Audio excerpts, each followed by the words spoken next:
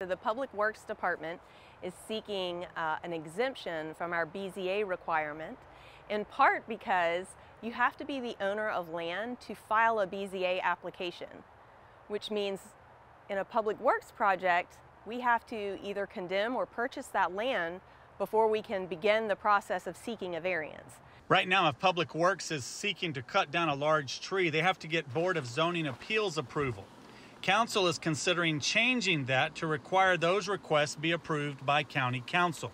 And then we move forward with the design, land acquisition, and ultimately construction of the project. More than 7,000 people have signed a petition against the change. Ashley Dane is a local developer who started the petition.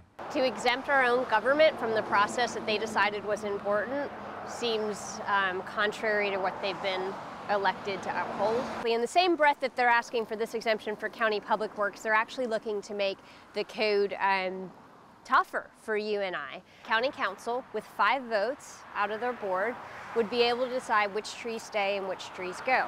And for me, people under, under political pressure shouldn't be making those decisions. And our biggest concern with that is the lack of consideration that we think that Public Works will have in future road projects having this exemption. Honeycutt says she believes this change adds public accountability. Providing this accountability to elected leaders, putting it in their hands, provides a greater level of accountability. Because if a voter doesn't like what that elected official has done in either voting for or against a project to move forward, they can vote that elected leader out. Upon hearing concerns, she does plan to make a change to the proposal. And so one of the revisions that I intend to put forward to the current amendments is that we do require a limited review process by our zoning department.